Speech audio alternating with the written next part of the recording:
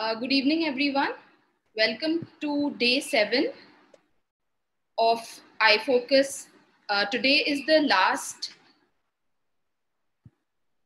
session by Dr. Krishna Prasad, and it's on clinical optics and refraction. So we have some special uh, students on the hot seat, but all of you can ask as many questions as you want because today is his last day. So over to you, sir. Thank you. You can stop sharing the screen, Ritika. Yes.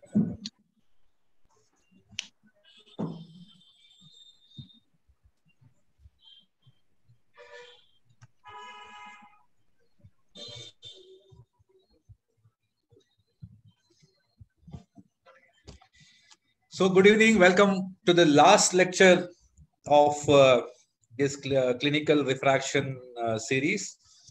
So I had asked for one more additional lecture in order to incorporate certain uh, left out things and also to have a question answer session. So uh, I think we have covered enough in uh, most of the most commonly you know needed and encountered uh, topics in for postgraduates. So as I told you, the idea is not to give you a high density talk or a PowerPoint slides full of information which you can get everywhere. The idea is to kind of create a stimulus or just to stimulate you people or try to create an interest or just to give you some nuances of the basics of certain issues which are normally you know not taught to postgraduates.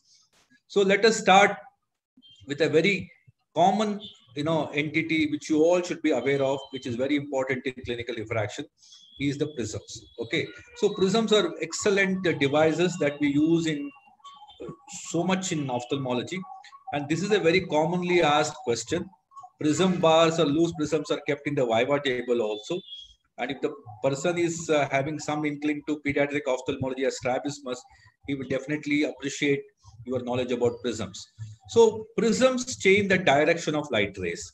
So when you interpose a prism, it changes the direction of light rays. So the light rays always bend towards the base. So remember this very importantly.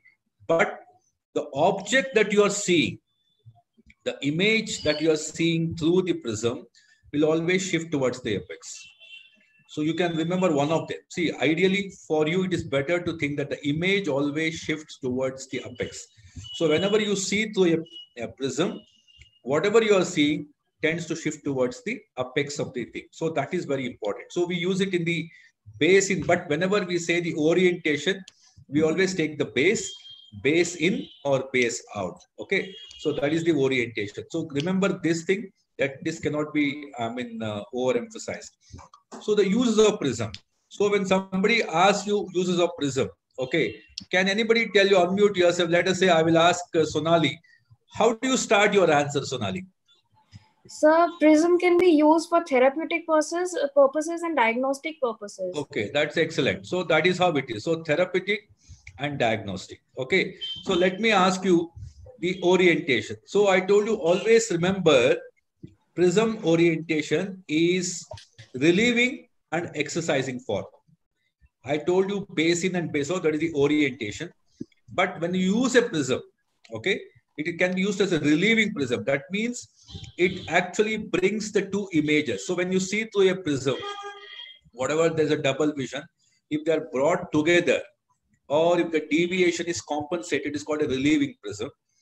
If it actually creates diplopia, then it's called an exercising prism. Okay, so remember that way. So coming back to therapeutic and diagnostic. So can Afifa, can you tell what is one diagnostic use of uh, uh, prism? You have to unmute yourself.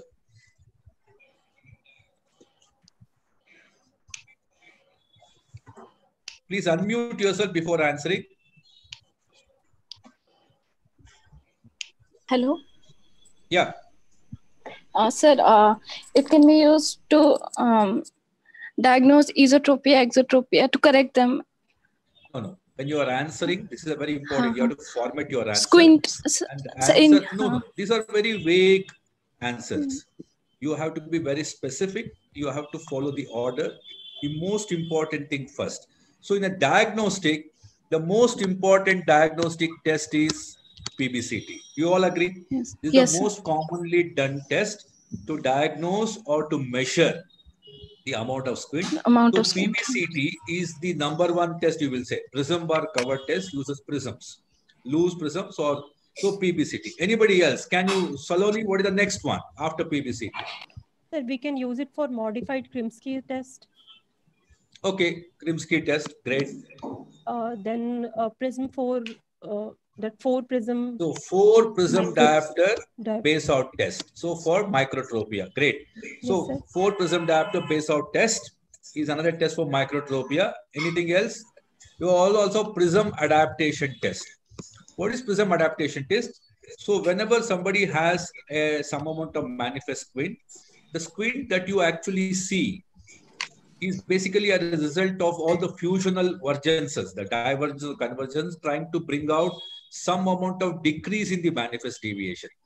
When you actually stick a prism, like in terms of Fresnel prism onto the spectacles, when you align the eyes non-surgically using a prism, and after some time, two, three weeks, you find that again the deviation has increased. So prism adaptation test is done using Fresnel prism, the stick-on prisms, to bring out the entire deviation, which has been basically compensated by the fusional vergences. Okay. And also for diagnosis, have you heard of tests for malingering? So one of the easiest tests for, for malingering is using a prism. The patient says that he can't see with the right eye. Okay. So just put a vertical prism in front of his right eye, ask him to take the stairs. So obviously we'll have a vertical diplopia. If the patient has vision in that eye, he a vertical diplopia, he cannot take stairs properly. He will stumble. Okay. It's a simple test to find out that he has to say unilateral vision loss. So PBCT, Krimsky, four prism diopter base out test, prism adaptation test, malingering.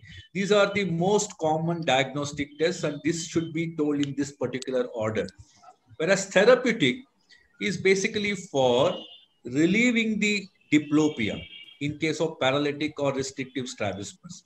In case of concomitant strabismus, if the diplopia is stable, okay, and it is not of a very large degree, then you can incorporate prisms into the spectacles so that the two images can fuse and the patient can be relieved of diplopia. Whatever little diplopia the patient can fuse, if you can bring the images fairly closely together, you can actually achieve a single vision. So using prisms as a therapy in case of paralytic strabismus is the number one. Any other therapeutic use? Low vision aids. low vision aids. Exactly. So we're going to come to that. So in case of low vision aids, in case of any high plus, in order to basically assist the convergence, you can use prisms. Okay. So we'll come to that. So I told you the relieving prisms and exercising prisms. So in exotropia, so you should always remember this. So remember this in exotropia, the relieving format is always base in. Very, very important. Okay. Whereas in esotropia, the relieving is base out. So remember one thing. So exotropia, base in is relieving. So just remember the relieving part only so that the reverse becomes exercising. For exotropia, base in, okay, will be relieving, base out will be exercising. Similarly for this. Okay. So remember this one thing. You can probably extrapolate this to other things. So this is you have to remember one of the basic elementary thing that you should always remember. Okay. So now let us start knowing about how does accommodation, okay, actually make a difference in different refractive errors. Okay. Accommodation and myopia. See, there are certain things that you should always know in myopia. See, whenever you accommodate, you add, okay, uh-huh. plus power. You add convex power. That means when you accommodate, the myopia increases. Increases. Okay, the myopia increases. So when you relax your accommodation, the myopia can decrease. So this is something. So whenever a patient has myopia, especially an uncorrected, okay, low or moderate myopia, the patient far point, for example, if the patient has myopia of two diopters, his far point will be around 50 centimeters. So he can actually see the near things without actually needing accommodation. You understand? That Yes. means a myope normally underuse their accommodation because they are able to see the near which is within their far point. So when the patient do not use accommodation to see near, the convergence does not happen because accommodation and convergence or is a synkinesis, they cannot happen independently. That means whenever you are having an uncorrected myope, the convergence is always not called for to action most times. The patient, the myopes most often have convergence insufficiency. So convergence insufficiency is very common in myopes, especially undercorrected myopes. When you correct myopia, convergence comes back. Similarly, all kinds of exodeviation, whether it is exophoria, intermittent divergent squint, or exotropias, are more common in myopes exactly for the same reason because convergence is not happening, divergence is happening more. So the patient tends to lose that balance and tend to go towards exotropia. So convergence insufficiency and all kinds of exodeviations are very common in myopia. This you should understand. At the same time, when a patient has myopia, for the first time you are giving him glasses, especially a high myopia. So always consider that this patient is underusing accommodation. Do not correct him fully. If some a child comes to you at the age of eight years, has a minus 10 myopia, and you are giving the glasses for the first time. Okay, then what happens if you are given minus 10?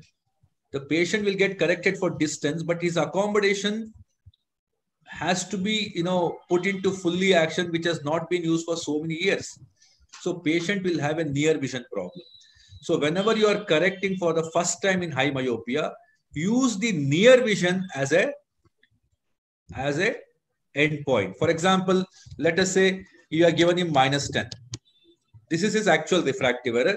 He improves to 612 but if you check his near vision he will be n32 because his accommodation is completely you know rusted it is not being used at all. So what i will do is i will probably make it give him minus 9 with minus 9 his distant correction will come down to 618 and this will probably become n12 i will give him minus 8 with minus 8 his vision will become again 624 maybe and maybe n8 so probably for the first time I will give him this. I will give him a minus 8 classes. I will undercorrect so that he is able to see near work even though you are undercorrected him for distance. So his accommodation starts acting and we take some time to become robust again in a child.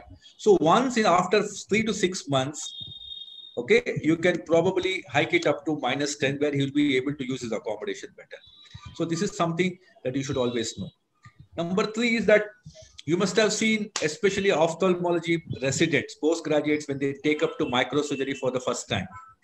You must have seen the complaint that they are seeing having diplopia. You know why? Why do they have diplopia when they start using the binocular microscope? So this is again the same reason. See, when you use microscope, you are not using your accommodation. Okay. When you are not using your accommodation, the convergence does not happen if the fusional convergence of these residents is not good enough, they develop diplopia. Okay, so most of them have to do some fusional exercises, some convergence exercises to develop that. And over a period of time, our brain learns to fuse it. Okay, so this is the reason. Whenever you don't accommodate, your convergence will actually not kick in and you will have convergence problem, just like our ophthalmology residents. Similarly, accommodation and hyperopia. This is little more complicated. I told you accommodation can correct hyperopia to variable degree. That is why in case of hypermetropia classification, you have latent, which is the normal ciliary tone causing the uh, certain correction of the hyperopia. And rest all is called manifest. So in a manifest hypermetropia, you divide that into facultative and absolute. So what is facultative? The amount of hyperopia which can be corrected by accommodation is called facultative. And whatever hyperopia that remains even after full accommodation is called absolute. Absolute. Okay. Normally in young people have a lot of accommodation. So most of the hyperopia will be facultative only. when they start, when the accommodation start dwindling, facultative starts becoming absolute, which they cannot have. I mean, they have to use glasses. They cannot use their accommodation to correct it. Okay. So now this misuse of accommodation, basically to correct hyperopia, results in certain problems. Okay. So this is what we call as accommodative esotropia. Just like myopes go for more of exot deviations, hyperopes have more commonly esot deviations because you have two basic varieties of accommodative esotropia, refractive accommodative esotropia, non-refractive accommodative esotropia. So let me tell you how it works. There is a child, let us say, of two years, which is having a hypermetropia of five diopters. The child is having a blur because of hypermetropia. so the child learns by trial and error that by accommodating, it can actually see clearly. So it basically accommodates five diopters and the vision becomes clear. When the five diopters of accommodation happen for distance, normally as per the AC by ratio, let us say it is 5, let us say AC by ratio is 5. 5 into 5, 25 prism diopters of convergence will also happen for distance, which is not required. So 25 prism diopters of convergence, the child has to compensate using a fusional divergence. If the child's fusional divergence is good enough, then the eye will be straight. If it is not good enough, the eye will start squinting.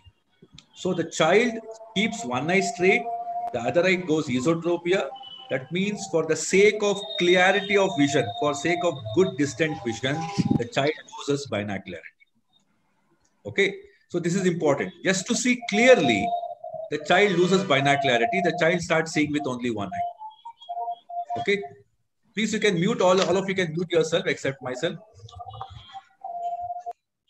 So please understand refractive accommodative esotropia, there is no squint to begin with.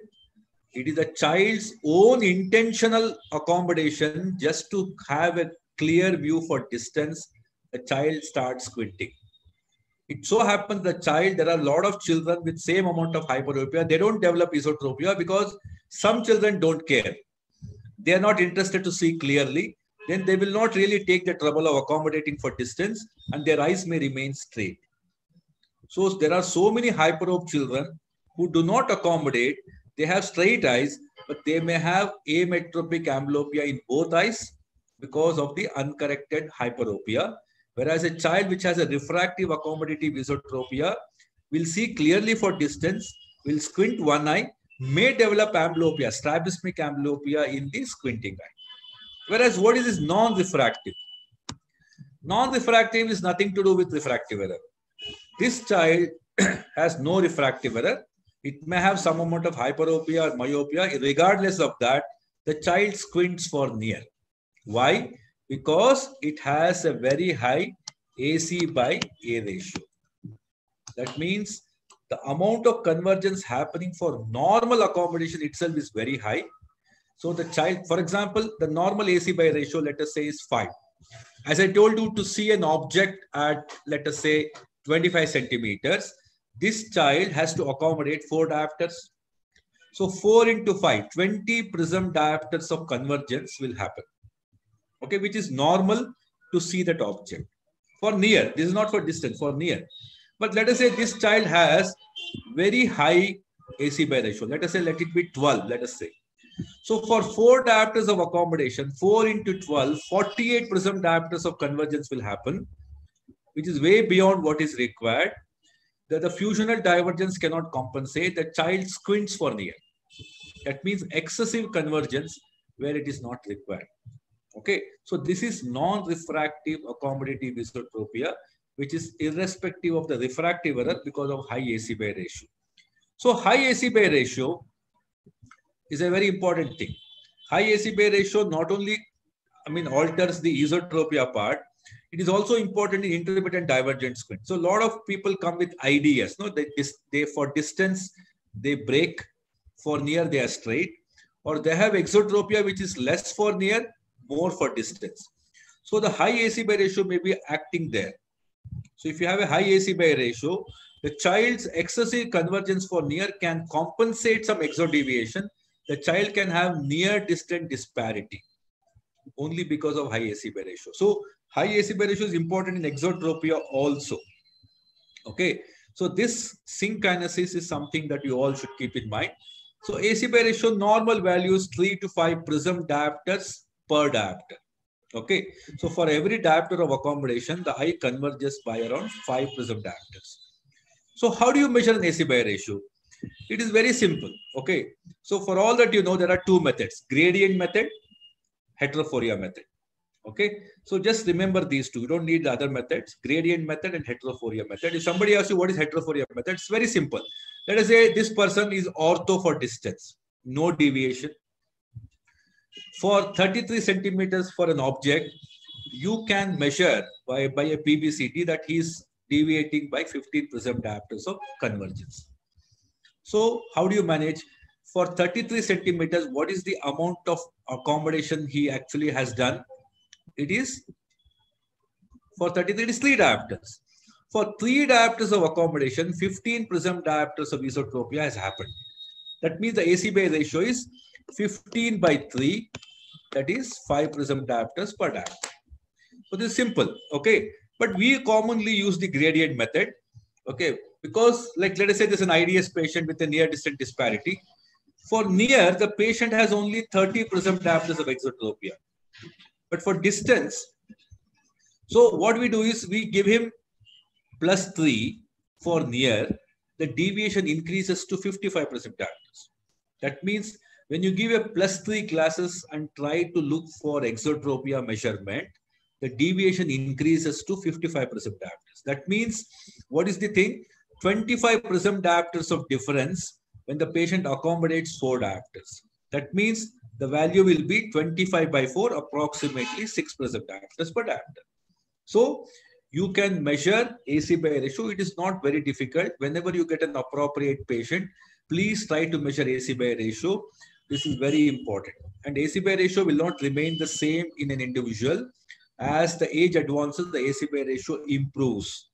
Okay. At the same time, please understand, if the AC by ratio is low, if it is pathologically low, you will have still bigger problems. What happens if you, if you have higher or lower AC by ratio? Okay.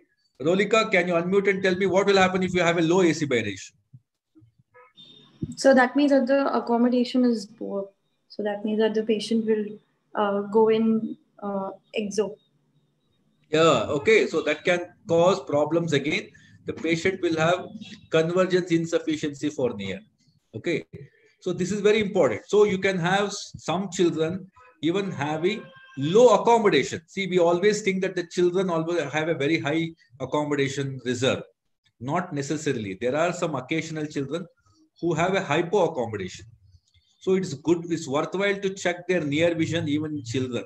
If the child has low accommodation, that can also result in convergence problem. That is called hypo-accommodative convergence excess. Okay.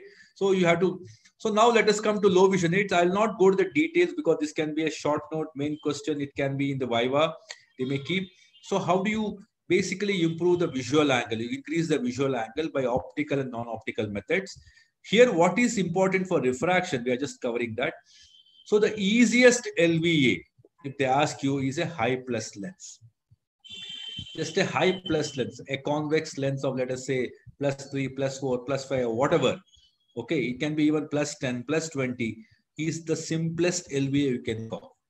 But when you think of an LVA like this, if you can you give a both eyes something like plus 10 just as an LVA, it is not so simple because there's a problem of convergence deficiency. I told you whenever you use a high plus lens, you don't accommodate, so you don't converge, the patient will have diplopia. Okay, for that, you have to basically solve this convergence lag. For that, there are two methods. How do you do it? You can incorporate prisms into the high plus lenses, or you can even decenter the lenses. So these are the two methods by which you can help the convergence. So let us get started. And always for a LVA, because it is the patient is not able to converge, it is like a divergent squint. So you have to go a relieving prism. It is always basic prism. So for an LVA, the prisms are always basin in orientation. Okay. So let us start. What is this Kestenbaum rule? Okay. This is something that you all should know. Whenever there is a LVA prescription, you'll have to understand what is this Kestenbaum rule. Let us say if you are incorporating a prism in a high plus lens, you have to give a prescription to the optician how much of prism he has to incorporate in the base-in form. In both eyes, you have to divide the prism in both eyes. Okay. Both eyes, you have to equally divide the prism. So you use this Kestenbaum rule. Okay. It is just add 2 to the value of a high plus lens to get the prism value, that is a base-in prism, each eye. Okay. So let us say, I'll give you an example. Let us say for a particular patient, let's say macular degeneration, we are giving a LV of plus 8 in both eyes. Okay, plus 8 in both eyes. So what should be the base-in prism in order to, okay, uh, relieve his convergence lag? What you need to do is just add 2. Just add 2 to plus 8. For example, he has got 8 diopters.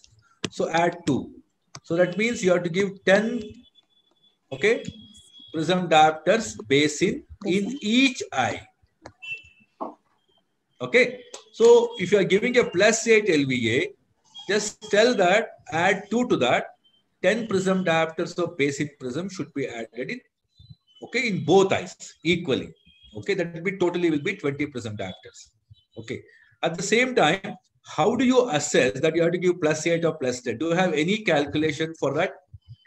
Anybody can tell, let us say the patient's distant vision. He has a wet ARMD. His distant vision is 6 by 60. For his N6, for his to get an N6 in near vision through LVA, what should be the high plus lens that you're you're ordering? Anybody? It is very simple. Just the reciprocal of the vision. It is 6 by 60, no? Make the reciprocal. 60 by 6, how much it is? 10. So give him plus 10. Okay. Let's say the vision is 636. So 36 by 6, give him plus 6 diopter. Plus 6 diopter. So this is the simplest way to start off, okay, to give how to give a high plus lens. Just the reciprocal of the distant vision. And the Kestenbaum rule is to give, add 2 to the high plus lens to get the basin in each eye. Okay. So you also have telescopes. See, for near you have high plus lens and so many non-optical devices. For distance, it is a telescope. So they're basically so there are two types of telescopes. This one is the Galilean telescope, whereas astronomical has both objective and eyepiece convex lens. So you have Galilean telescope. This is Galilean. And this is astronomical telescope. Okay. So if they ask you what are the two types of telescopes they use for distance, one is Galilean, other is astronomical. In astronomical, like our slit lamp, both are convex lenses or like compound microscope. Whereas in Galilean, the eyepiece is a concave lens. Okay. So now come to very important thing. I was just telling you before the thing that you should all should be planning to take up refractive surgery as a subspecialty. Wavefront is something you hear in conferences, people talking about wavefront technology and things like that. Okay, so now I want to kind of demystify what is this wavefront. Okay, so Dr. Shiva, you can unmute yourself and answer my question. Okay, let us start with a question. Your childhood classmate, who is a software engineer, will ask you, I got glasses, I am undergoing LASIK. The doctor has suggested two types of LASIK, normal LASIK and wavefront LASIK. Which one I should undergo? Normal LASIK is 50,000, wavefront LASIK is 75,000. What will you advise her? Uh, sir, we will look for uh, any kind of aberration. First, we will check for any kind of aber aberration by doing the aberrometry. And okay. then we will uh, then we will uh, advise him accordingly, like uh, he should go for wavefront or uh, normal LASIK. You mean there are people who will have no aberrations at all? Zero aberration people are there? So there can be, I mean, uh, they may not perceive if they are having any aberrations. And uh, there are some people who have uh, uh, excessive uh, uh, complaints regarding abrasions so uh, we'll ask if he has any problem or uh, he's has any complaints and accordingly we will advise him Okay. So let me kind of, you can unmute yourself. You can mute yourself. Okay. So the, let me kind of make certain clarity to the what is wavefront. See, I'll tell you something very, in very simple terms, what is wavefront and what is wavefront LASIK. See, if two people have minus two, okay, and we are doing a normal LASIK, the kind of program that follows the way the excimer laser, you know, ablates the cornea will be exactly similar. Okay, both minus 2 will be treated in the same way. Whereas a wavefront LASIK is not like that. Wavefront LASIK is a customized LASIK. We do an aberrometry. We find apart from the refractive error of minus 2, the patient may have many more problems in terms of higher order aberrations. So we are going to correct those higher order aberrations along with the refractive error of minus 2. Okay, so two people having minus 2 but having different aberration profile will be treated differently. So wavefront LASIK is a way beyond giving you 6-6. So it is not just for getting rid of refractive error, it is also to take care of higher order aberration. So I will now go through what are these higher order aberrations because you always see the Zernike polynomials, you always see those names and you don't really make out anything out of it. So I'll just try to make it very simple so what is defocus? In the refractive jargon, there is something called defocus. What is defocus? Defocus is nothing but refractive error, myopia and hyperopia. In defocus, in our refractive jargon, positive defocus means myopia. Negative defocus means hyperopia. So they don't use refractive error as a word, they use the word defocus. Okay, just remember this. Okay, if you are come across this defocus, it's nothing but refractive error. So now let us say this is the very commonly used word nobody knows. So this is actually in physics.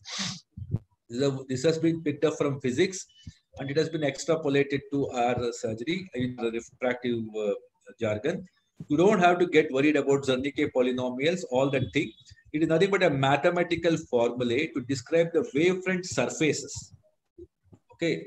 So what is wavefront? Let me tell you. Okay, I'll give you a simplest example you have a car bonnet or dicky, okay, in a normal, proper, okay, there's a nice shining refractive surface where you get the reflection properly. Let us say there's a dent on the car. Okay, when light falls on that area, where there's a dent, the light is getting reflected in a different way. Okay, that means that is an aberration on the surface. Here we are talking about refraction, but there I'm giving an example of a reflection. So that means it is not, it is an area which is okay reflecting or refracting the light rays in a different way, trying to disturb the overall picture. So similarly, our cornea, our ocular media also have areas in which there are certain abnormalities where the light ray does not go through, pass through like any other light ray. It gets deviated or it gets disturbed, gets scattered. So the overall picture quality suffers. Okay. So there are multiple orders. They called second, first, second, third, fourth, fifth, sixth Zernike polynomials. Only second, third, fourth are important for us. You don't have to know any other. Second, third, fourth order of Zernike polynomials. So let us see what they are. What is second order uh, Zernike polynomials? Simple regular astigmatism and defocus, refractive. So second order is what we are very comfortable with. Our regular, what we give. So for second order, you give them glasses. You can give them glasses, not that you should give them glasses. You can correct the second order problems with glasses. Okay. So they are, they can be treated with glasses, contact lens or refractive surgery. That's why we call them as lower order aberration. From third onwards, we call it as higher order aberration. So these two are not HOA. These are LOA, lower order aberrations. Okay. Whereas the third order is coma, which is both horizontal and trefoil. Vertical. Okay, and trefoil. trefoil. So third order is these two. What is coma? Basically, when the light is going through it, see, whenever the light passes through it, this has to focus like this, no? When there is a coma, no? This point starts coming like this only. That means you will have a mushroom, uh, you have a, something like a uh, fixed focus here and one enlarged focus on the by the side. So it can be vertical, it can be horizontal. So coma disturbs the quality of vision greatly. Okay. And coma is also induced by so many things. Your tilting of lenses, decentration of lenses, okay, your corneal scars, your LASIK surgery, all these can induce coma. Again, trefoil is another form of higher order aberration, which is the third order, which can be corrected by wavefront LASIK. Fourth order is tetrafoil, Tetrafoil. secondary astigmatism, and spherical aberration. So our good old spherical aberration is a fourth order aberration. Okay, we always hear about spherical aberration. So we correct this also using uh, refractive surgery. We can also use in our cataract surgery, we can use aspheric lenses. So tetrafoil, secondary astigmatism, and spherical aberrations are for you don't have to remember beyond this. Okay. So HOA, we call it as third order onwards. So what is night myopia? Okay, this is something which uh, whenever you have a patient myopic LASIK, okay, patient who's undergone a myopic LASIK, when they go in scotopic condition, dim light, they have pretty difficult, they have a lot of problem trying to see far, which we call as night myopia. It can happen in even people without a refractive surgery. Can anybody tell, okay, can I have, uh, where is the only lone boy here? Shalid? Okay. Okay, Saloni, can you tell me what is night myopia? Sir, uh, sir, uh, more aberrations are uh, observed in those patients. Okay, in myopia or scotopic, sorry, night conditions, there When is the a pupil is uh, darkness. So the pupil dilates. When the pupil Dilate. dilates, the spherical aberrations start working. Okay. The best way to tackle spherical aberration is to constrict the pupil. Okay. To constrict the pupil. So similarly, if the patient has night myopia, okay, there is a problem. So let us say if patient has undergone myop uh, LASIK and is driving at night and he has a lot of problem, then what will you suggest? A simple tip to improve his vision. He can switch on the light inside the car so that the pupil constricts and he will be able to see better. You can always put him on pilocarpine, but the simplest thing. Okay. So night myopia is basically um, a decrease in the distant visual acuity because of spherical aberrations causing a myopic shift because of a dilatation of pupil in scotopic conditions. Okay, so we had covered this. I just wanted to recheck whether you have forgotten this Munnerlyn's formula. So this formula is basically to know what is the amount of ablation per diopter you need to do. Depends how it depends on the optic zone. So the amount of ablation per diopter is equal to the optic zone square divided by 3. Okay. For example, if you have an optic zone of 6 millimeters, 6 into 6, that is 36 by 3. 36 by 3 is 12 diopters. That means, so 12, that means you have to apply 12 microns per diopter. So this is how the optic zone and the amount of ablation required for one diopter correction or linked. So do not forget this. This is going to be very useful to understand how you can alter the optic zone to correct the requisite amount of myopia with the same corneal thickness. How to save the corneal thickness how to save the residual stromal thickness, how to improve it by decreasing the optic zone. Okay. So next comes the, if the patient has undergone a refractive surgery. See, we always thought, most of the PGs think, the amount of flattening that happens in myopia in refractive surgery is because of the change in the keratometry. For example, if the patient has 44 diopters keratometry, the patient has 4 diopters of myopia, you have done a refractive surgery. What will be the post-refractive surgery keratometry? 40. Because 44 flattens to 40, the patient gets rid of, gets rid of myopia by 4 diopters, correct? So because most of the change in the myopia is because of the flattening of the cornea. But that is not really so. You need to understand that this formula, that is, there is a post-op keratometry is equal to pre-op keratometry plus 0.8 into refractive error at the corneal plane. Okay, so this one formula you should understand how to, so this you can use it even in cases of finding out the IOL power post refractive surgery. So the post-op keratometry, average keratometry is equal to pre-op keratometry plus 0.8 into the refractive correction or the refractive error that you have uh, he has undergone surgery at the corneal plane. For example, I'll give you an example. Let us say there's a patient who has a 10 diopter myopia.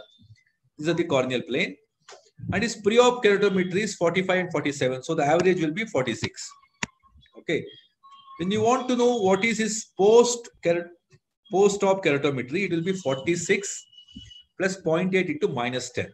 So that becomes 46 minus 8. That is becomes 38. So 38 diopters will be his post-op corneal curvature. Whereas if you think that minus 10 change is happening at the cornea only. So 46 should become 36 but it does not 36, it becomes 38. Okay. So this is because of the change in the posterior corneal curvature following refractive surgery. Okay. So this one formula, I'll just probably show it again. So post-op keratometry is equal to pre-op keratometry plus 0.8 into refractive error. So remember this, if you want to, for example, want to give a, I do an IOL calculation. If you know the pre-op keratometry, you can guess what is the post-op keratometry. Okay.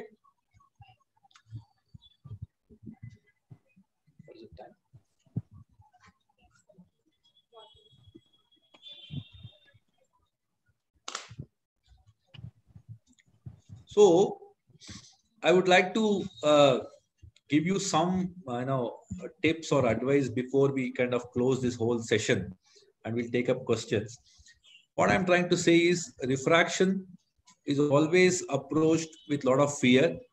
That is the way people think uh, because of their exam phobia or the uh, they think that they did not know enough refraction.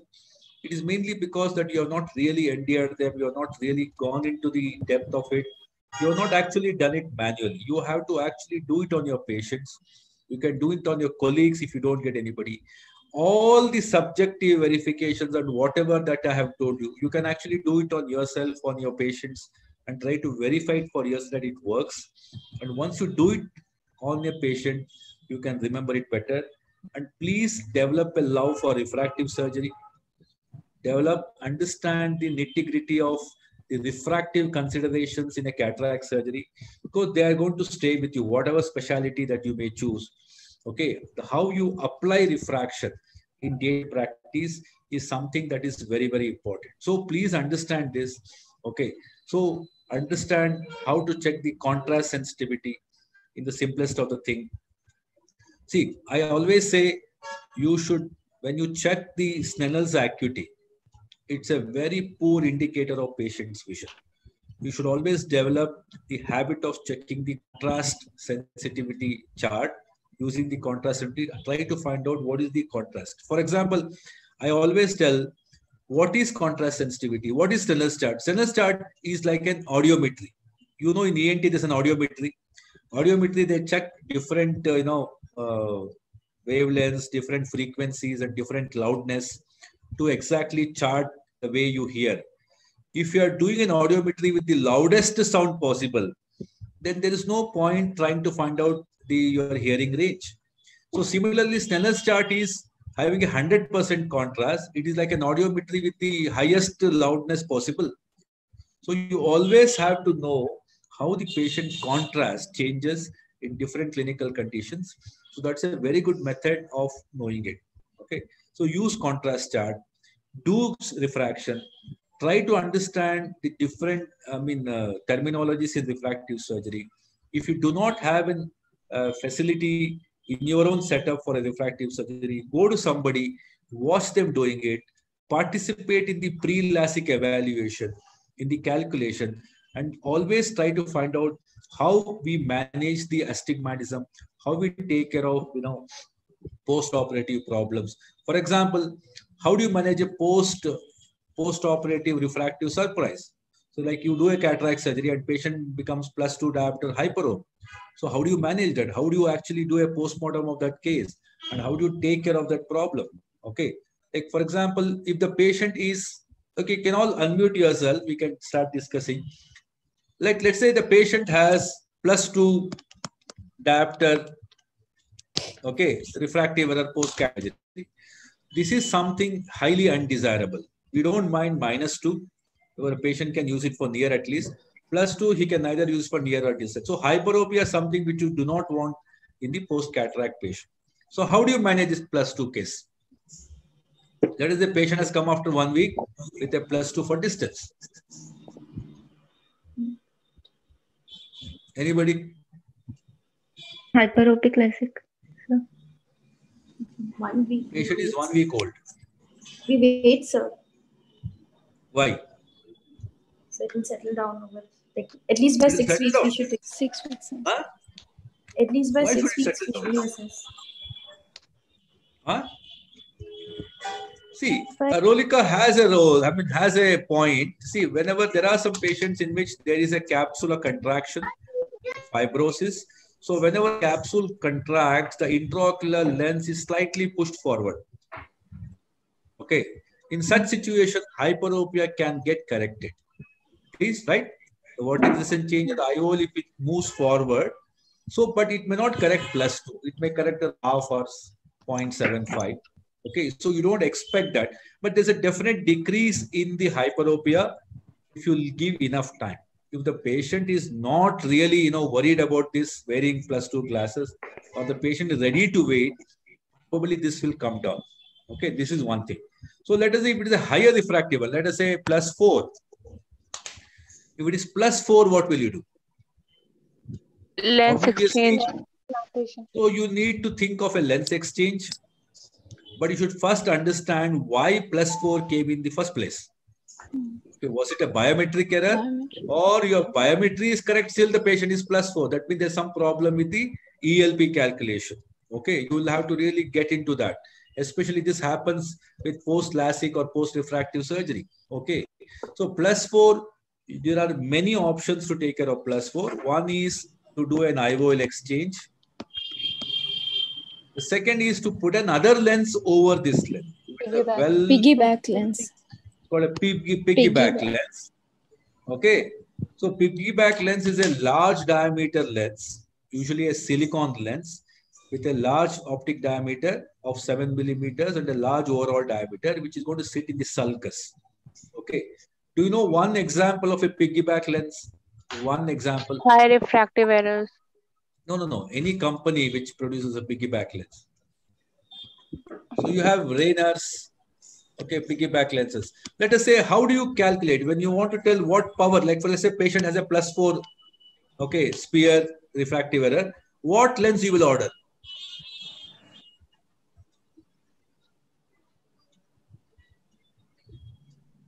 We have to So oh, increase the there is a calculation for that. If it is hyperopia, you will have to multiply it with 1.5. And that is the IOL power you have to order. If it is myopia, you have to multiply with 1.2. Okay, it is not the same power. So this is the way you order a piggyback lens. And the third one is you can do a corneal procedure that we call as bioptic. That is probably the best. In my case, if I am given to take, take care of this plus four, I will do a trans PRK. I will do a PRK after three months once the refractive error stabilizes and the patient will be very happy. I will not go in try to pick out a piggyback lens or remove a lens. It is not easy to exchange a lens after some time because most of the hydrophobic lenses are well stuck to the capsule. You will cause more trauma. So best is to correct this at the corneal plane. Okay. So if you have a refractive surprise, you can either wait for some time, try to give spectacles and take care of the patient. If it is still residue, if this remaining, a large amount is remaining, you can do an IOL exchange, you can do a piggyback IOL, or you can do a corneal procedure. You can do a PRK or a surface ablation. you, since it's a very small error and you can take care of that. Okay. So similarly, there are so many things that you need to put in your mind and try to understand how it works. So start working on all this. Refraction is not for exams. The refraction is for the biggest examiner who is going to sit in front of you. That is the patient. Okay. The patient tomorrow in your practice will be a biggest examiner who will decide your fate. So start preparing for him or her. So that is the way you need to look into it. Okay. So I think with this, we I start you know talking. I think we'll start asking questions or whatever questions uh, if Mritika has any. At the same time, if uh, the any of the uh, PGs here have any doubts or anything to get clarified, you can start. Uh, excuse me, sir. I have a question. Yeah. Uh, sir, what all do we need to know about angle kappa and angle gamma? Like Oh, what I see. can Okay. add? We, did we talk about angle alpha kappa? No, no. No, sir. Okay. No, sir. Okay, uh, okay, let me explain. Uh, uh, probably we missed out some there. So angle kappa and angle alpha. See, angle alpha. See, there are some de- definitions you need to know because the examiners know the definitions. So sometimes we have to know only for the examination. But you also have to understand in practical life what is its importance. Normally, angle alpha, angle kappa, there's not much different if you really go into the nitty gritty of it, angle alpha is nothing but the angle between the optical axis, the visual axis, and the for example, what is visual axis? The visual axis is the line joining the point of regard to the fovea. Mm-hmm. Okay, that is the visual axis. Where it passes through the eye, we don't know. It may not pass through the center always. So visual axis is the point of regard to the fovea is visual axis. The center of all the refracting surfaces, center of cornea, center of lens, if you draw a line, it is called optical axis. Optical axis. So the optical axis and the visual axis difference is basically angle alpha. Okay. For example, if you're doing a refractive surgery, if you're doing a refractive surgery, okay, normally we take the center of the pupil for centration. So we center the whole ablation profile to the center of the pupil. Okay. So they have now tried to refine this alpha in a different way. Now they said the difference between the visual axis and the pupillary axis. What is pupillary axis? If you take the pupil as an horizontal plane and draw a line from the center of pupil, okay, so that difference is called angle kappa. So angle kappa is nothing but the difference between the visual axis and the pupillary Pupillary axis. pupillary But in reality, in reality, if you look at the patient, can you make it out? Yes. If a patient has a high angle kappa, you can make it out. Just very closely look at the patient and try to locate the center of the pupil. At the same time, try to locate your Hirschberg reflex. They should be exactly if they're coinciding, and the angle kappa is very minimal. Minimum. Let us say the Hirschberg reflex is slightly nasal to the center of the pupil. That means the patient has a higher angle kappa. Okay, angle kappa is important for pseudo squints because many patients who have a high angle kappa will have a pseudo squint. If the Hirschberg reflex is descented nasally, the eye looks like a pseudo exotropic and vice versa. So angle kappa is more important for in squint, whereas in refractive surgery, these changes, if the angles are more, there's a problem putting a multifocal lens because when I put a multifocal lens, the center of the multifocal lens has to coincide with the visual axis, but it'll always coincide with the optical axis, the center of the lens, the center of the back. That means that is angle alpha, you can call it. So the multifocal lenses, if the angle alpha or kappa is more, then you have a problem. They will have a lot of aberrations because of the decentration. You are not decentered. That is the way the eye is made. That means we always measure in millimeters. If the difference between the center of the pupil, okay, or the center of cornea to the Hirschberg reflex is more than 0.5 millimeters, multifocal lenses are contraindicated. Okay, so what is one of the contraindication of multifocal lenses? High angle kappa or alpha. We call it as 0.5. We don't use it in uh, okay degrees or whatever. we tell it in distance, 0.5 millimeters or more, okay, then multifocal lenses will be decentered because the lens centers the center of the optical axis, whereas the Hirschberg reflex will be the visual axis. Okay, so you have to know these terminologies. There's not much of difference between the two. The definitions are different, but their actual implications are same. Okay, in refractive surgery as well as in multifocal lens implantation, these are important. In strabismus, it is more of a misdiagnosis or a pseudo squint diagnosis. Anything else? Sir, one question. Yeah. Sir, in Prism, we uh, read about uh, two positions of Prism, Prentice position and the minimum angle of resolution. And uh, it is written that uh, Prentice position is good for uh, the glass prism and uh, minimum angle resolution is good for the plastic prism. Plastic prism. So does Yeah. that make any uh, sense? Means we See, have to keep anything in That mind? is the ideal way of doing things. How you have to keep the prism. For prisms more than 30 prism diopters, these make a difference. Okay. If you are if you are using let us say a 50 prism diopter lens, the way you keep, you can actually have changes in your re- readings. Smaller prism diopter lenses or prisms will not have any difference how you keep it, whether it's a minimal deviation or Prentice, it doesn't make a difference. But basically, that is a recommendation by the manufacturer. Okay, you better use it in that way, especially if you're using a higher okay uh, value of prisms. Thank you, sir. Sir, I had one any- question. Huh. Yeah. Uh, sir, what is the cause of asthenopia in case of myopia? See, asthenopia is a very vague term. Basically, Ah. asthenopia is eye strain. So, in myopia, any uncorrected myopia, okay, obviously, see, whenever, whether it's myopia or hyperopia, when somebody has, okay, blurring, either for distance or near, the eye tends to keep on focusing. Okay, mm-hmm. we tend to make the clear the blur. So, this itself causes asthenopia. Okay, the constant see that is why I always tell somebody who has a minus 10 myopia not corrected will not have asthenopia. Somebody who has a 0.75 diopter myopia will come with asthenopia. If somebody who comes with minus 10 diopter myopia will only say I can't see because he has tried many times he can't clear the blur so he doesn't try to focus so he does not have asthenopia whereas somebody with 0.75 is almost seeing 6 6 parts.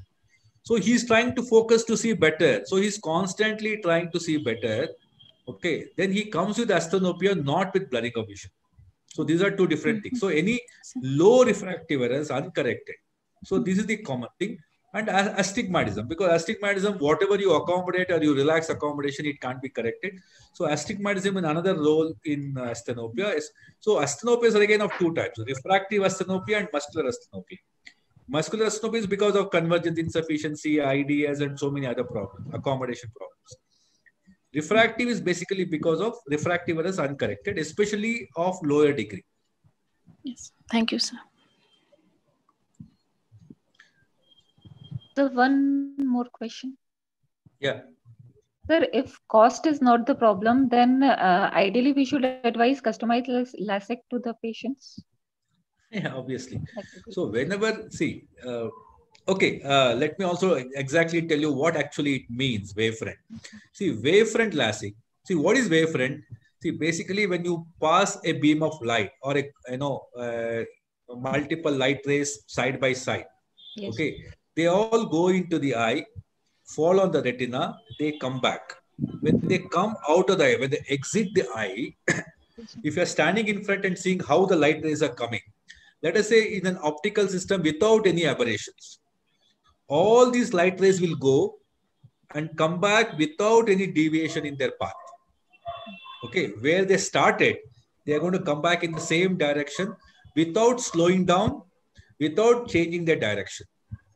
Okay, when you see from the front and the whole that wave coming towards you in front of it, we call it as a wavefront. It is like standing at the finish line of a 100 meters race.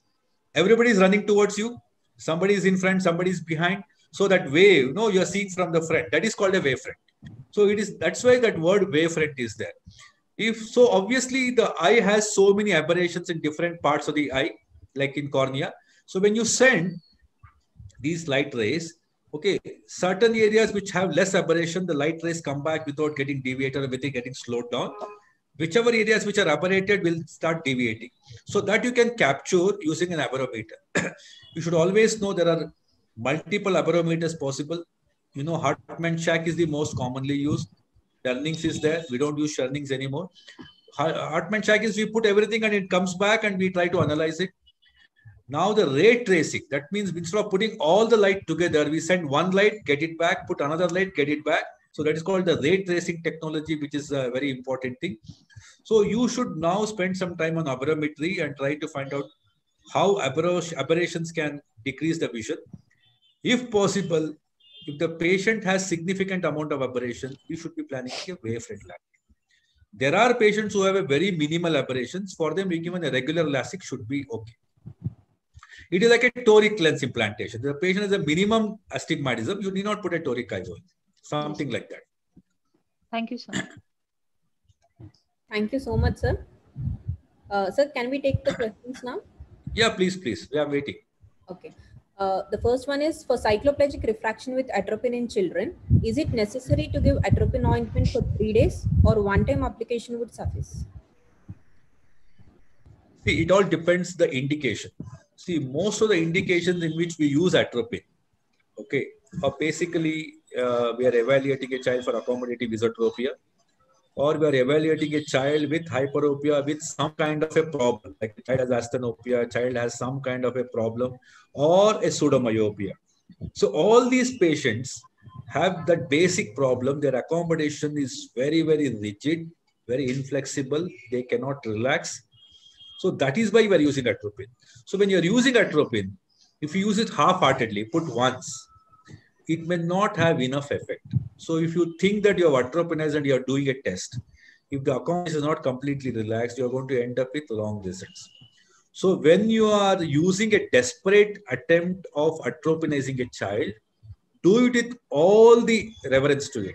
So you give atropine at least twice a day for at least two to three days so that there is a proper you know, accommodation relaxation and the result that you get will be actually you know uh, very relevant. Sometimes you put once you will never know that whether the atropine has acted or not and whatever result you may get may be suboptimal. So best is it's like patching in children. So part-time patching full-time patching see i think for the child's vision nothing else is important. You have to do a full-time proper patching. Similarly if you are given atropine it is not the problem to the parent or the child in the school. You just give atropine because for that child, vision is of paramount importance. So do it with all the seriousness. So you should use atropine at least twice a day for three days. Okay, sir. What measures are to be taken while prescribing glasses for a child with ocular imbalance? So this is a very uh, important thing they have asked. I think we had covered it in one of the classes. So if a child has exo deviation, so whenever you're prescribing glasses to a child, always do a cover test. Ask the patient to look at a target, near target, see is there any exo deviation happening. Ask the patient to look at the Snellen's chart, see is there any exo deviation happening. Okay, use both near and distant, not just a cover test for near, even for distance. So try to rule out an exo deviation tendency or exo deviation tendency if the patient has an exo deviation tendency, fully correct myopia, under correct hyperopia. If the child has ESO deviation tendency, fully correct hyperopia, under correct myopia. Okay, sir. Uh, how can we treat convergence insufficiency in 4 to 8 years group? Age in? group. In 4 to 8 years age group. 4 to 8 years, sir. 4 to 8. No, actually, four to eight, there uh, you basically you need to have a parent trying to help with the convergence exercises. See, four to eight may be difficult to put them on a synoptophore. Maybe older children can still do it. So best would be to try home exercises, what we call as pencil push-ups. So that would be the easiest thing where the child can be monitored. The parents can do it more often, and it is very easy for them to do it. If the child is not compliant, that things are not happening, then we can put the child on synoptophore. Sign up to four is a much easier for the child to grasp because the child is more like a play, fun. And if the child is cooperating enough, then I think uh, uh, we can use synoptophore in case where the pencil push-ups don't work. Uh, so what is the reason for development of sudden squinting in a child with no refractive error? Okay, this is a very important entity in strabismus. See, acute concomitant squints very important and they have to be differentiated from paralytic strabismus. Okay, normally acute concomitant esotropias are more common than exotropias. Suddenly you have a child of five years coming with sudden esotropia. Okay, you should be very careful. You may be missing a lateral rectus palsy.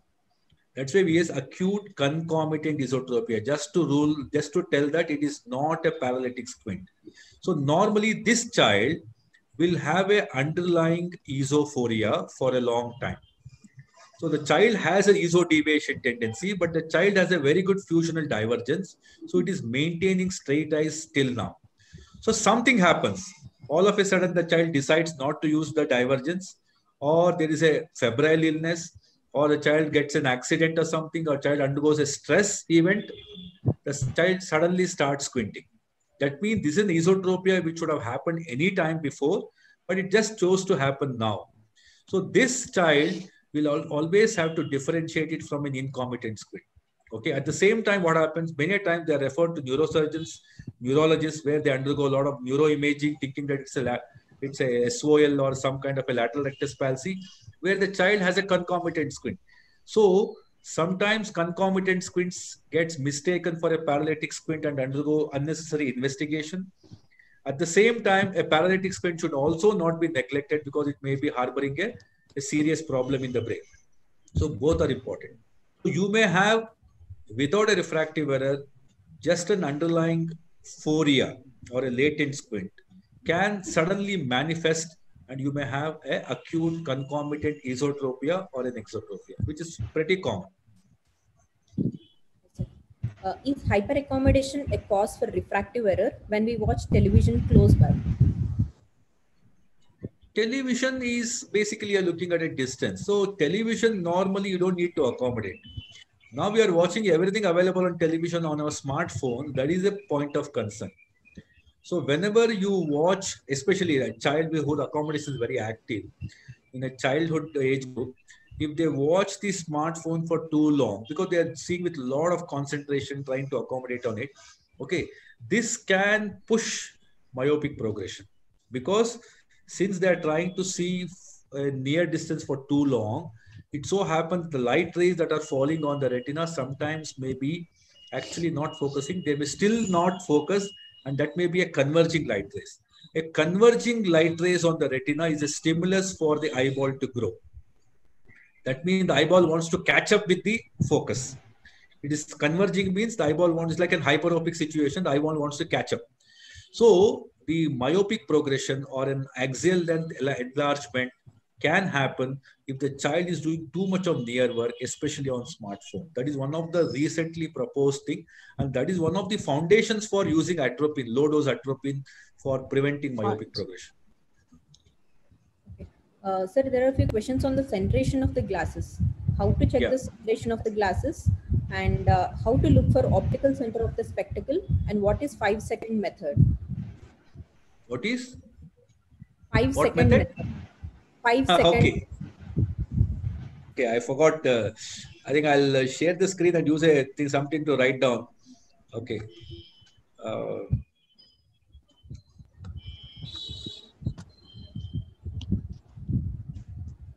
It rid of this.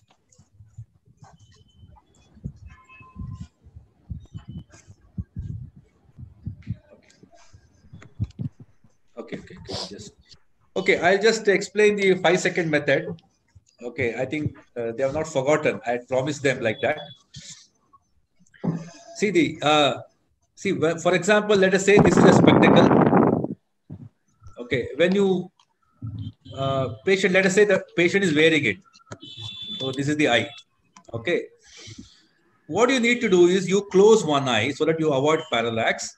Just put a torch and ask the patient to look at the torch. Okay. That's all. Then what happens? You see two reflexes on the spectacle surface. One very bright on the front, which is the first Purkinje-Sanson image. I'm not relating to cornea. I'm saying on the glass. See, whenever you have a glass like this, when the light passes through it, it gets reflected here, it gets reflected here. Okay. So this image is one reflection. This image is another reflection. Okay. You put a light on any glass surface, you will see two reflexes. Okay. So you will have to align your eyes in such a way or this light in such a way that these two reflexes should overlap each other. You understand? They overlap only at the optical center of the glass. Okay.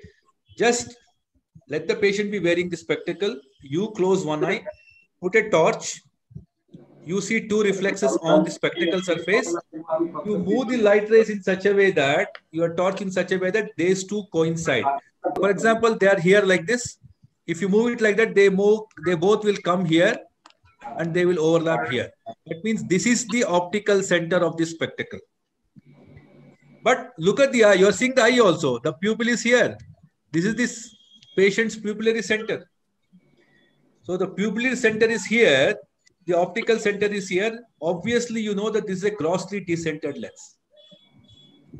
You don't have to take out the spectacle, check in a lensometer, mark it, nothing. Just this is a five seconds method. So put a torch, you close your one eye. If you have both eyes, then there'll be a parallax error.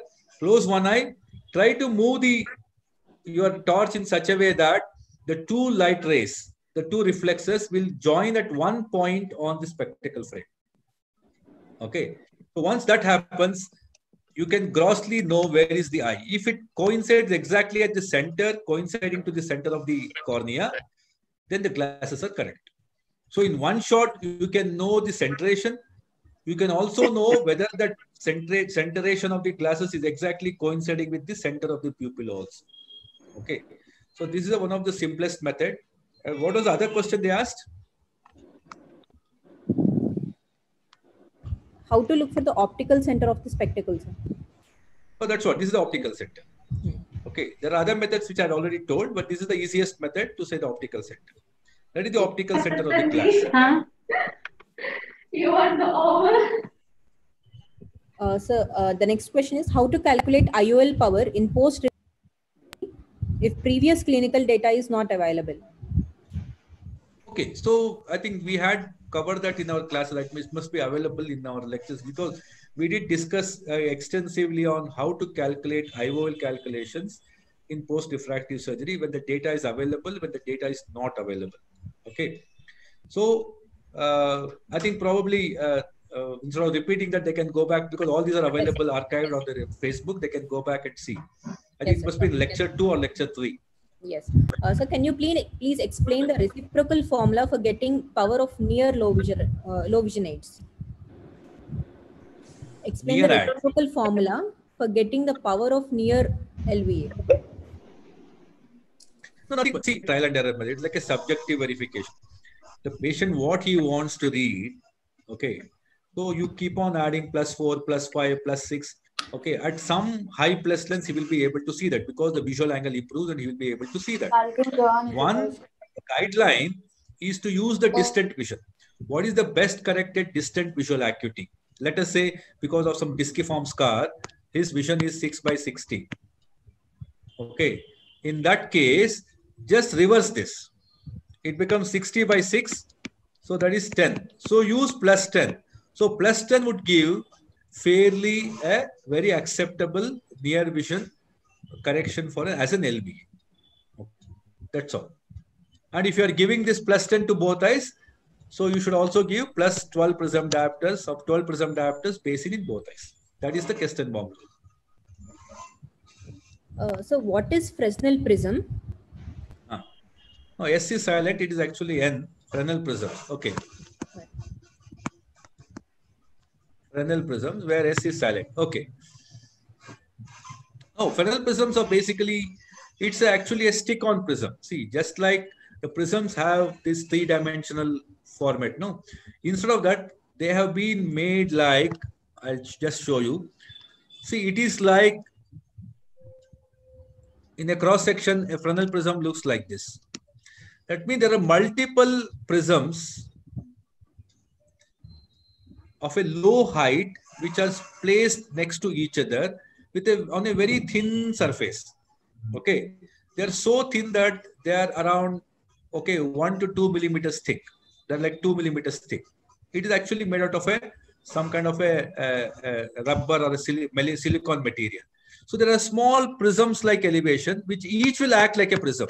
Instead of having one big prism, you can cut it down into small prisms. Okay.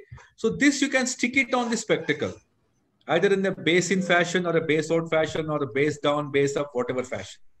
So instead of sticking a big prism on the spectacle, you can have this thin stick-on prisms. Okay. Or you can just patch this prism onto the spectacle. They act like, uh, so these are called Fresnel prisms and they're pretty costly uh, for uh, a common man to use it. It's very costly. Okay, there is one more question on the prism, sir, regarding the orientation of the prism. Yeah. Orientation of the prism can be frontal and Prentice. So, what is the importance of the orientation? I think we all discussed there are two positions, Prentice and the minimum deviation, and uh, so that is given in all the books. For low prisms, for low value prisms, they don't really matter when you're using a high value prisms, so you should basically stick to that manufacturer's advice. And we are talking about the orientation. See, base in and base out. Okay. See, if the base is okay towards the nasal side, it's called base in. If the base is towards the temporal side, it's called base out. So base in and base out. So base in is the relieving prism for divergent squints. Whereas base out is the relieving format for convergent squint. So you can remember this synonym BID or BOC. Okay. So remember this back of cornea, BID dosage, whatever. So base in for divergence, base out for convergence is the So this is the way we use for PBCT. So for PBCT, we use the relieving format. So if you have any doubt, for PBCT, we always use base in for divergent squint, base out for convergent squint. Okay, uh, how do you know what prism diopters of Fresnel prisms to prescribe? No, it is you calculate uh, along you calculate with your loose prisms or prism bar. But when you stick on the thing, you use the appropriate Fresnel prism. For example, you, you use the prism bar, you know that it's a 30 prism diopters. Like if you are doing a prism adaptation test, the patient has 30 prism diopters of esotropia. That you check with your PBCT. Take a Fresnel prisms of 30 prism diopters, stick it on one eye or take 15, 15, stick it on both eyes. How do you do it? It is a base out because it's a convergent squint. So we are relieving the prism here in a, in a prism adaptation test. We are bringing the image to the convergent eye wherever it is without having need to come for a redistal movement. So you put a 15 prism diopters on either side or 30 on one side and align the eyes just like a PBCT. Okay, that is how you do it. So you first measure it with the normal prisms, and when you are giving prescribing, you give a prism on the spectacles. Okay, sir. Is there any difference between depth perception and stereopsis? Oh, very much. And this is a very elementary question and a very important doubt. Depth perception is the way you perceive depth. It is nothing to do with binocular vision. Whereas stereopsis is the depth perception which you get using both eyes. You understand? Stereopsis, when you say stereopsis, it always means there are two eyes working. You can have depth perception even with one eye. There are a lot of monocular clues for depth perception. Whereas stereopsis means it is the depth perception which is by the binocular cues. When you use both eyes, the depth perception that you get, we call it as stereopsis. Whereas depth perception is a very general term which even the monocular clues can be there. Okay, sir. So what is the nodal point of eye and its clinical importance? Nodal point of the eye has been always you know, uh, in uh, discussion because when the reduced eye or the schematic eye concept came in, they wanted to know if the eye is a, a structure, optical structure having cornea, lens, everything if you convert this into a lens, one single lens and where is the center of this lens? Okay, that is the nodal point. That happens to be at the back surface or the posterior aspect of the crystalline lens. Okay, so we always, even though I has cornea as a dual lens system, so in order for measurements, in order to for calculations, for regression analysis, so so so many mathematical and physical calculations, we consider the whole eye as a basically a convex lens, and that center is the nodal point. And in physiology, the nodal point is somewhere near the posterior surface of the crystalline lens. Okay, sir. Uh, sometimes the patient need different near rad in each eye.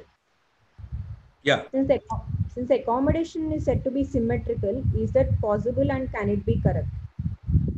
See, normally what happens is when you're doing a subjective correction, usually they do accept, okay, same correction both eyes. But there can be situations where I'm not talking about pseudophakia, I'm talking about people who can accommodate in each eye, phakic patients. The amplitude of accommodation can vary in each eye. The robustness with which the eye can accommodate can also vary. So you can give differential correction because even though both eyes have two diopters of accommodation coming in, okay, but they may not be as effective as two diopters. One eye will have the effect of two diopters. One eye have the effect of one diopter. The effort may be for two diopters. Okay, the effort is different, the effect is different. So you have to sometimes differentiate it, but there's a very rare situation. There are two questions regarding amblyopia in children, sir. The first one is, how do we check amblyopia in neonates with esotropia? And the second Okay. question, okay. And the second question is, is patching helpful in symmetrical vision in amblyopia? Say if the vision is 618 in both the eyes, in Okay. that case, is patching I think this very, very pertinent questions. I would like to really, you know, answer these very carefully. Please listen to this.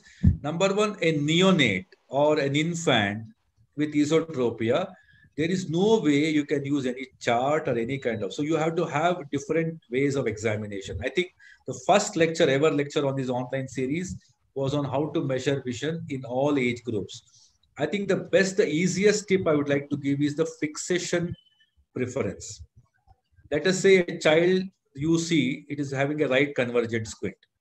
It may be right convergent squint by itself or it may be an alternating convergent squint. If the child alternates the fixation let us say if you see 100 times with the child 50 times it is seeing with right eye 50 times with left eye you know for sure that the child has no preference to one particular eye. The vision must be equal I'm not saying normal. I'm saying vision must be equal because the child has no preference to one eye. So there must not be any amblyopia at that point of time. So the ease with which the child alternates the two eyes. Okay. The child alternates between the two eyes itself is an indication that there's no amblyopia. So child with no amblyopia normally have an alternating squint. And conversely, a child with a unilateral squint, squinting only one eye, will have amblyopia and will not prefer that type of fixation. So, how the child fixes, with what eye it fixes, does it alternate and it, does it alternate spontaneously? Then the child must be having equal vision and no amblyopia. And the second part is the patching. Uh, what was the second part you said?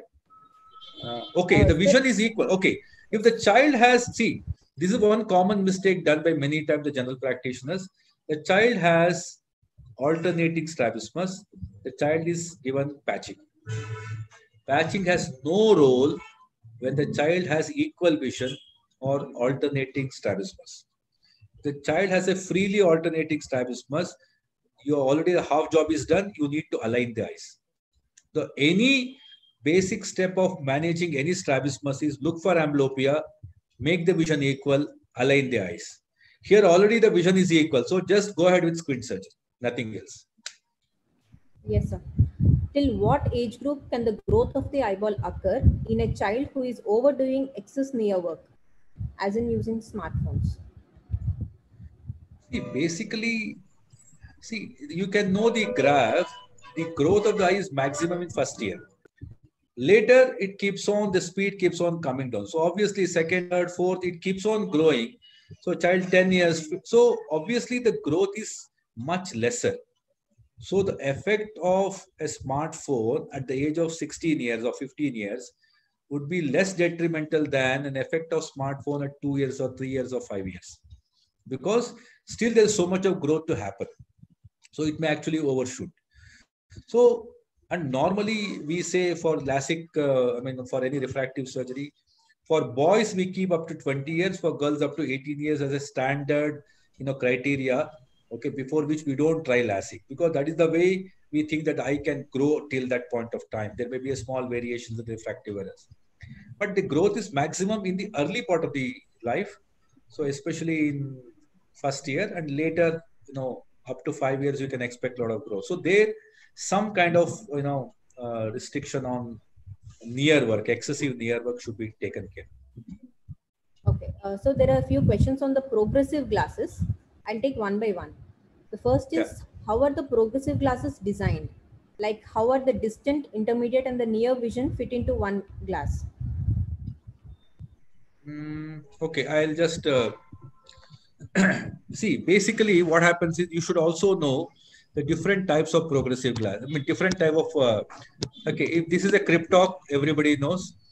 Okay, this is a D, and this is an executive bifocal. Okay, here the distance and the near, there's a sharp change. Okay, there's a sharp change between the two.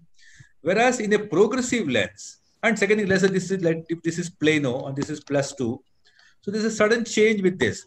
A progressive lens. See, I think we should uh, stop using the word progressive. We should use the word progressive addition lenses because there is a progressively they are they are adding the lenses. That means if you say if you have a let us say I'm taking the cross section of a lens from top to bottom. Let's say up to this part there is distant correction. Okay, like this is the spectacle I'm talking. Eye is here. Okay. In this part, let us say it is a plus two glasses. Plus 0.25 will start. Next plus 0.5 will start. Next 0.75. So like that, the plus two will come almost at the bottom. That means from zero to plus two, there is a gradual increase, progressive increase in the class. This is basically designed as per the physiological you know, rotation of the eye. When the eye rotates like this, for example, when the eye looks away, it basically looks to the distal segment. When the eye looks something close by, it looks down and goes through this segment. If it is looking at an intermediate distance, it is looking at this to this segment. So these, like let's this would be let's say plus 0.5 to plus one, will take care of intermediate. The lowest one will take care of near, and the when you're looking up above, you'll probably go looking to the distant glasses. So progressive glass. That's why when you look at the progressive glass, you have all that wavy fashion. okay. So if it is not properly centered, the patient will have a difficult time because if the glasses go up, if the near segment comes up near the front of the eye for distance, so patient will have a lot of you know distortions. So this is the way the pantoscopic tilt as well as the rotation of eye has to manage in such a way that the different aspects of the optical progressive changes should basically correspond with the different distances that eye is trying to see. Okay. Nowadays, the progressives have uh, a very good design, though most of the patients are happy with this kind of uh, design. Okay, this is called progressive addition lens, and that is the standard of care today. And that is how you can avoid a sudden jump. You can also have a, a varying, I mean, working distance for near, especially without having to sprain their neck. Many of the bifocal patients have to really strain their neck out close by to reach for different uh, faraway objects. But in a progressive, that problem is taken care. Okay, but at the same time, centering is very important. And you should also understand that the progressive, that plus two is in the lowest part. Okay, so that is why if you are giving, let us say, a bifocal for, let us say, imagine you have got a bifocal of plus 1.5. If you are subscribing, if you are prescribing a progressive, slightly increase it to 1.75 because this 1.75 will be in the lowest part. Okay, it will be in the lowest part. Okay, so slightly if you can give on a higher number for a progressive addition lens, it would actually work better. Okay, so progressive addition lenses should be encouraged for people who have these uh, no requirement for looking at various dis distances. Okay, sir. How do you? I also, yeah, Can I ask the question, yeah, sir? Yeah, please. Yeah. Uh, how do we give as, uh, astigmatic correction in progressive glasses? You can give any correction. See, progressive glasses are basically a taking care of near segment. yeah, astigmatism, spherical correction, everything can be superimposed. See, basically there are uh, uh, two surfaces, no, of the sphere. So you basically you can etch everything on the same glass. Your distant correction, astigmatic correction, as well as the progressive near correction. So that is not a problem. Everything is superimposed. Okay, sir. Why does convex power increase as glasses slip downwards on the nose? I think that can be explained. Okay, see that is again the vertex distance. I told you when the uh, when the lenses move away from the vertex distance. Okay, I told you like for example, if the uh, if, if the IOL power is plus 20 inside the eye, at the corneal plane it will be plus 13 as a contact lens, and as an aphakic glasses it will be plus 10. That means from inside the eye to the spectacle level, a plus 20 lens okay has become plus 10 that means it has become more effective even with lesser power. The plus 10 itself is doing the work of plus 20 if you take it still away plus 8 will do the work of plus 10 that means if you slide down your convex glasses near glasses it becomes more efficient that's what I'm saying. Like plus 8 will work like plus 10. If you still take it away, plus 6 will work like plus 10. So if you have plus 3, if you want plus 4, you can just slide it down. It will work like plus 4. And the reverse is true for negative lenses. Okay. When they move away from the vertex distance, you need to have higher power. Okay. So that is important. Okay, sir. Uh, what is reduced and schematic? I think that's all a very theoretical question. So I will continue from here. For example, if the patient requires minus 10 spectacles, what will be his contact lens power? It will be minus 9. Whereas if the patient requires plus 10 glasses, okay, he will require plus 13 contact lens. That means for plus lenses, the contact lens power is more. For negative lenses, the contact power is less. Okay. I think I saw Harika one more one more question. How to differentiate comitant and incomitant without doing any investigation? Yes. I think that's a very important thing. I just tell that because that is so important that uh, we should take control of these things, not a neurologist or somebody else. See, whenever a very simple thing, there are three things which will differentiate comitant from incomitant. A comitant squint will have no restriction of motility, no motility restriction. If you have a motility restriction, it is incomitant. Number two, the deviation will remain same in all directions of gaze up, down, everywhere, the deviation remains the same. Number three, the primary and secondary deviations will be same in comitant squint. Okay, the second and third may not be important, but very important thing, if there is a restriction of motility, then you're looking at an incomitant squint, could be paralytic or stratus or uh, restrictive. Whereas if the movements are full, there's an, even an acute esotropy child, you don't find any restriction of motility. All movements are full then you don't have to investigate the child. You're looking at an acute concomitant esotropy. Okay. Yeah, Harika. Yes, sir. Double Maddox rod test. Okay, very favorite. Okay, this is very important. See, Maddox rod. Okay, I should have covered Maddox rod. Anyway, Maddox rod has some linear red-colored, you know, prisms. Okay, which basically breaks a point source of light into a red line perpendicular to the orientation of the prisms. So when you look at a point source of light through a Maddox rod, you get a red line perpendicular to this. Okay, and Maddox rod has multiple uses. It's one of the most simple, very versatile instrument. Maddox rod can be used for test for binocularity. Maddox rod can be used for you know uh, macular function test. Maddox rod can be used as a measurement of the squint. For example, you put a Maddox rod in one eye, a light in the other. The light and the Maddox rod get separated. You keep on adding prisms till they both overlap. That is your prism depth. That is your PBCT. Okay. So double Maddox rod test is like you have basically you are trying to uh, measure the cyclo deviation. Okay. For example, if there is a there is a trial frame, you put two Maddox rods. Okay. Both similarly oriented.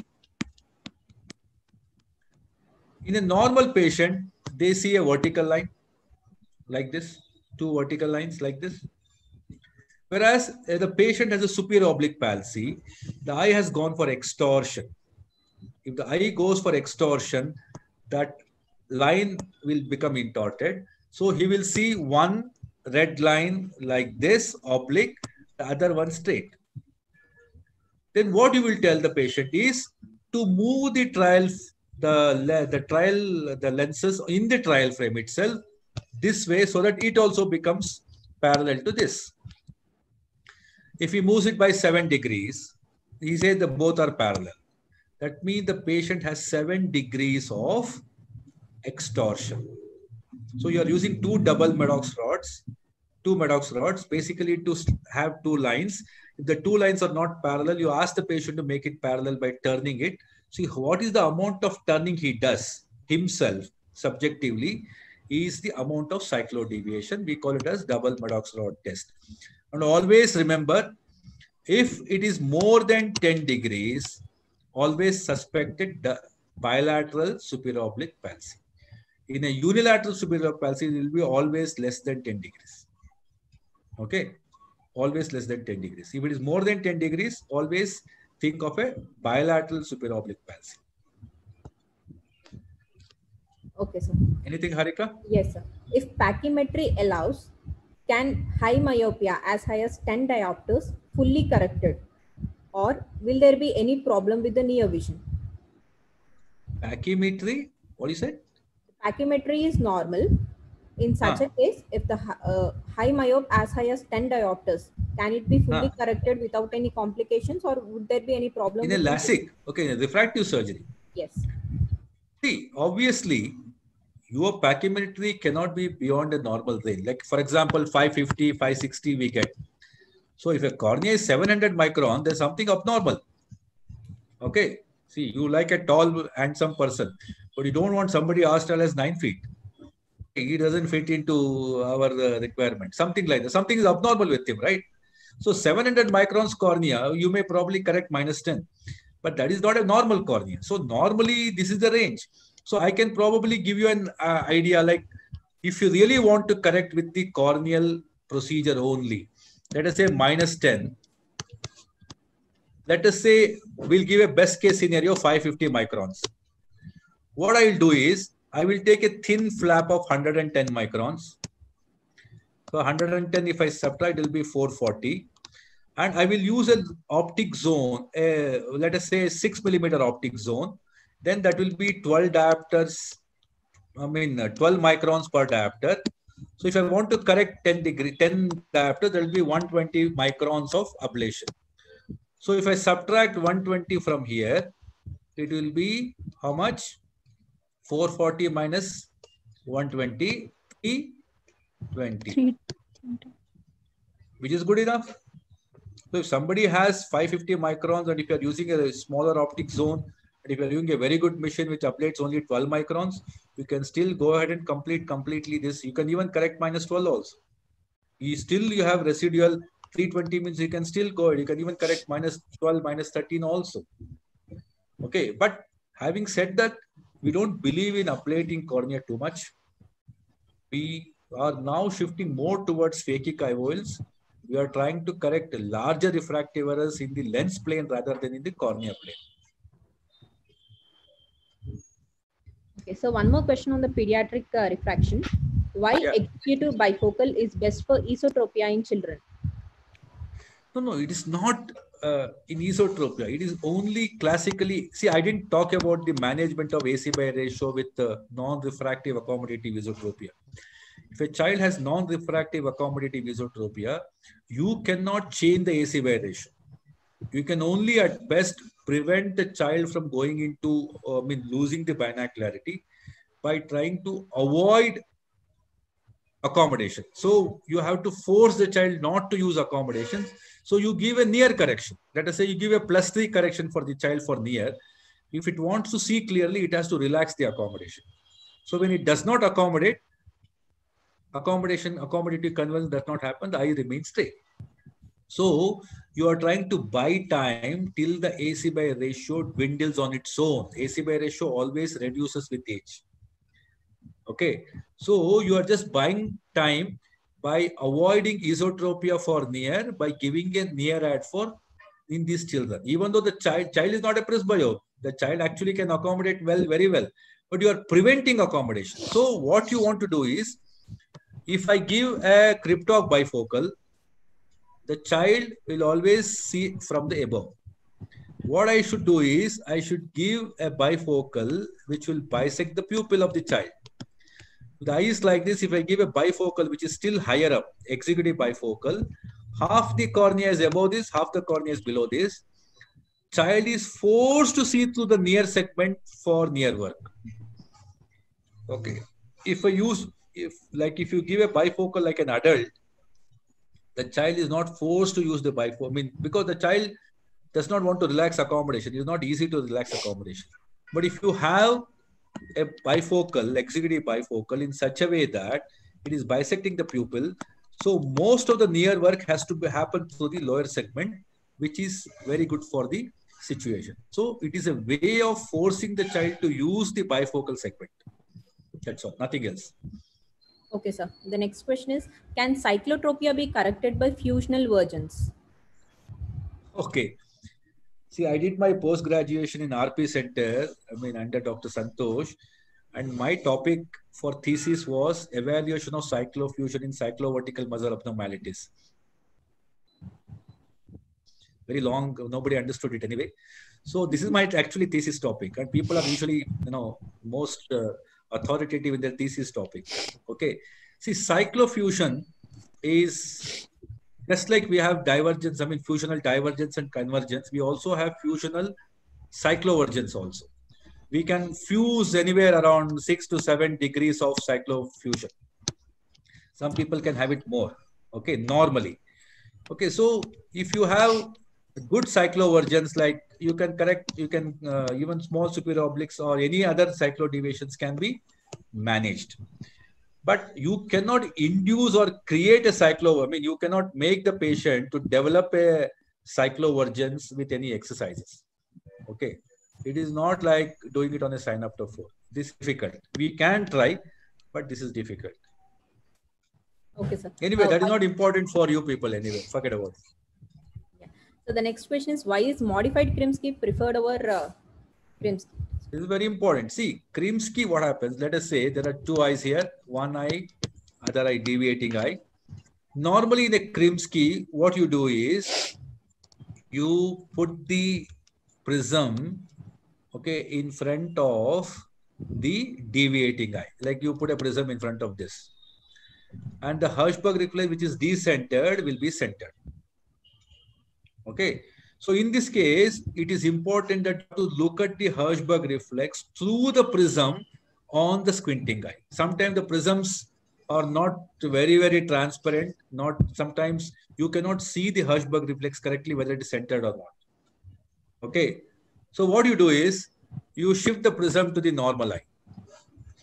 It doesn't make a difference because whether you are shifting the image in this or this. So when what happens is here that the I was seeing, and because of it, there's a shift, the eye makes a reversal movement or makes a correcting movement. A similar movement happens in the squinting eye.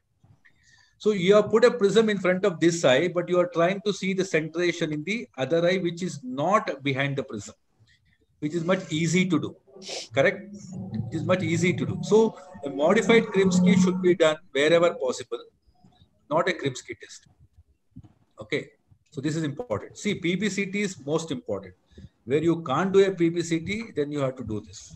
Okay, modified uh, you uh, the fixing guy. If you put the prism in front of fixing guy and see the centration in the non-fixing guy, that is modified Krimsky, and that is the best because you can see the uh, centration of the reflex much better without the prism. Okay, uh, that's it for today, sir. Thank you so much on the elaborative discussions. And a few questions are there from the color vision and other topics, and those ses- sessions will be subsequently followed. This is for the viewers. And uh, thank you so much, sir. Thank you for the elaborative discussion. Okay. Uh, Dr. Santosh is here? Yeah.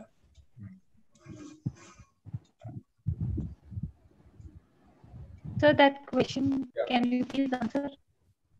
What question? Sir, how to focus the enrollment intraoperatively without using any aid? Okay, okay. So I'll take 30 seconds, sir, if Yeah, you don't sure. mind. Sure. Okay, see, uh, it's very important. See, when you are doing a cataract surgery, let us say you're not seeing the retina or the, because of the mature cataract, you're not able to, you're not assess the retina.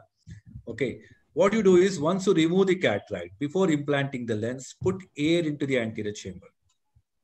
Okay, just put air into the anterior chamber and just focus the microscope down. You can see the posterior pole very clearly. You can make out all the details of the disc, macula. And this is a very common thing that we do to demonstrate things to our residents or to see for ourselves before implanting the lens.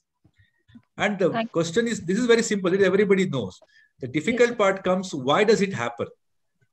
Okay. See, the normally the eye is a 65 diopter. Okay, well, you're taken out the lens, so it must be around 50 diopter lens. A 50 diopter convex lens, you cannot focus onto the retina. So you need another concave lens to just like a Hruby lens, what we use in slit lamp to see the retina, right? So when you put air in the anterior chamber, let us say the air fills the anterior chamber, it is actually convex, Yes, sir. but it is air has a refractive index of one. One, one. Mm. Okay. So when in between the denser media, if a rarer medium takes the position, the position of a convex surface, it acts like a concave lens Okay. because the light rays diverge in a air convex lens, a convex lens made out of air. So that it is like putting a concave lens on the eye. It neutralizes the dioptric power of the eye, and with slight mo- moving of the microscope, you can focus on the retina. Okay, so you can always see before you implant the lens next time, you put completely air, one big nice air bubble. Try to focus the microscope. You will be able to see the posterior pole, disc macula. Okay, it is because the air inside, though convex in its configuration, acts like a concave lens Concave. because of its refractive index. Okay, so I think with that, what I would like to, I was trying to say the parting shot is, so life is you know very bright. Good that you're all ophthalmologists because ophthalmology has so much of boom coming up. So you are at the right time to ride the wave. So try to be the best, acquire skills, acquire knowledge. Don't worry about exams. The patient who is going to come and sit in front of you is the biggest examiner.